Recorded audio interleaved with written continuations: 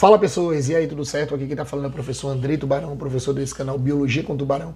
E é um prazer estar te recebendo aqui no meu cardume, tá? E assim, se é a tua primeira vez, me ajuda. Vai logo se inscrevendo no canal, dá um like nesse vídeo e compartilha ele com os amigos. Porque assim, quanto mais gente vocês trazem pro cardume, mais forte ele fica. E ele ficando mais forte, eu vou conseguir gravar mais aulas para ajudar mais pessoas como você. E assim, hoje é um dia massa.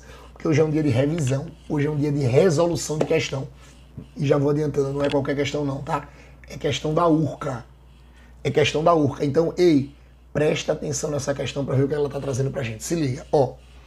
Com raras exceções, a regra, a energia entra nas cadeias alimentares da vida no nosso planeta. A partir de uma substância que repassa essa energia para outros sistemas, moléculas. Essa molécula é, galera, é o seguinte, vê uma ótima questão que está misturando aí a absorção de energia com cadeia alimentar. Aí vamos com calma, vê. Quando a gente trabalha com as cadeias alimentares ou cadeias tróficas, a gente estuda ecologia, beleza? A gente estuda lá na ecologia. E o que é que a gente aprende na ecologia? Que uma cadeia alimentar nada mais é do que uma sequência linear em que um ser vivo serve de alimento para outro. Um ser vivo serve de alimento para outro. Então, quando você tem um ser vivo servindo de alimento para outro, a gente tem uma cadeia alimentar numa sequência linear começando sempre do produtor ou autótrofo, que é aquele cara que produz a sua comida, produz a sua substância orgânica, e depois você vai ter uma sequência, que você tem um produtor e tem consumidor primário, consumidor secundário, consumidor terciário, consumidor quaternário, e comendo o resto de todo mundo, você vai ter os decompositores, beleza? O que é que eu preciso que vocês tomem cuidado?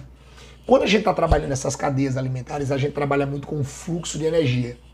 Ou seja, dentro da cadeia alimentar vai ter um ser vivo que consegue absorver a energia física, transforma essa energia física e passa essa energia, ah, transforma essa energia física em energia química e passa essa energia química para os outros níveis tróficos, ou seja, para os outros participantes. Porque lembre que cada participante da cadeia é um nível trófico. Lembrando que nível trófico é aquele conjunto de seres que apresenta o mesmo hábito alimentar. Então, cada participante da cadeia representa um nível trófico. Cada participante da cadeia representa o nível trófico. Aí o que, que acontece? Coisas que eu preciso que vocês não esqueçam. Quem é o ser vivo, quem é o participante da cadeia que consegue absorver uma energia física e transformar em energia química? Quem faz isso é o ser produtor, é o ser autótrofo. Porque o que, é que vai acontecer? Ele vai absorver energia física e vai transformar essa energia física em energia química no momento em que ele está produzindo a sua substância orgânica, a partir do momento que ele está produzindo a sua comida. E isso é típico, olha para mim, isso é típico de um ser autótrofo, de um ser produtor, de um ser fotossintetizante. Aí agora a gente sai, veja, a gente sai da ecologia e a gente entra na bioenergética. Porque lembra que quando a gente trabalha com bioenergética, a gente diz que na bioenergética você vai ter dois grupos de processos: os exotérmicos, que são aqueles que liberam energia, e nessa liberação você vai produzir ATP, tá? que são processos catabólicos, são processos de quebra, as fermentações e a respiração aeróbia. E quando a gente trabalha com os processos endotérmicos, os processos endotérmicos são aqueles que absorvem energia. E eles absorvem energia para produzir substância orgânica, para produzir comida. É a fotossíntese e a quimiossíntese.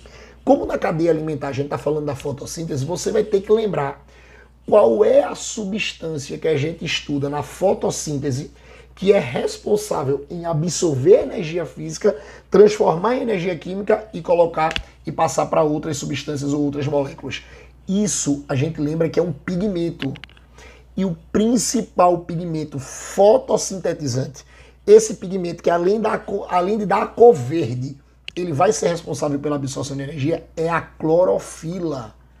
Então, de cara quando fala assim qual é a substância que consegue absorver essa energia, transformar energia, essa energia física em energia química e depois consegue repassar essa energia para outras substâncias, para outras moléculas e para outros participantes dentro de uma cadeia, vê que a questão é perfeita porque ela associa a bioenergética com a ecologia. Ah, e lembre, tá? Esse fluxo energético na cadeia alimentar sempre diminui. Sempre diminui. Sempre quem vai ter muita energia é quem produz ela, é o produtor. A partir do momento que vai passando de um, de um ser vivo para outro, de um nível trófico para outro, essa energia diminui. Tá? Não esqueçam disso. Aí o que é que acontece? Quem absorve essa energia é a clorofila. Quem absorve essa energia é a clorofila. É um pigmento. Então, de cara, você já corta letra A, letra B e letra D. Só sobra a letra C e letra E. Aí você tem na letra C clorofila, que é uma porfirina, e letra E, clorofila, que é uma proteína. A gente sabe que a clorofila não é uma proteína. Porque na clorofila você não vai ter uma união de aminoácidos, você não vai ter aminoácidos na composição da clorofila. Então o gabarito dessa questão é gabarito letra C. Uma questão muito específica, porque assim, você tem que lembrar que esse pigmento chamado clorofila, ele está dentro de um grupo de pigmentos que ajudam a, a manutenção da vida no planeta, que são chamadas de porfirinas. Lembre que essas substâncias que entram no grupo das porfirinas, a gente diz que a porfirina é um grupo de pigmentos que a gente tem na natureza que são responsáveis em auxiliar a manutenção da vida. No caso da clorofila, a clorofila é uma porfirina verde que vai ajudar a manutenção da vida fazendo o quê? Absorvendo energia química, ou desculpe, absorvendo energia física, transformando em energia química e nessa transformação você consegue ter a produção de substância orgânica e ela ainda passa essa energia química para outros seres, para outras moléculas, para outras substâncias na cadeia alimentar para você manter o equilíbrio de, de algum grupo de seres vivos, tá? É perfeita essa questão. Então, o gabarito dessa questão é gabarito letra C. Clorofila, porfirina. É uma junção da ecologia com a bioenergética. Uma ótima questão da URCA, que você que vai fazer esse vestibular tem que ter esse nível, tem que ter essa, vamos dizer assim, tem que ter essa especificidade para responder isso. Beleza? Tranquilo? Agora sim, tu gostou? Essa questão te ajudou? Então ajuda o YouTube aqui, vai logo, se inscreve no canal, dá um like nesse vídeo. Ei! E traz todo mundo para cá, porque o menino, ei menina, eu quero ver todo mundo aqui nas próximas, tá? Beijo no coração de vocês. Valeu!